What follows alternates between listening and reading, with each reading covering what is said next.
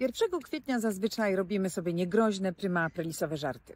W tym roku rząd Donalda Tuska przygotował nam nie żarty, ale prawdziwe podwyżki cen. Powrót 5% VAT-u na żywność oznacza, że ceny produktów takich jak chleb, mleko, masło, mąka wzrosną. Są to produkty niezbędne w każdej polskiej rodzinie.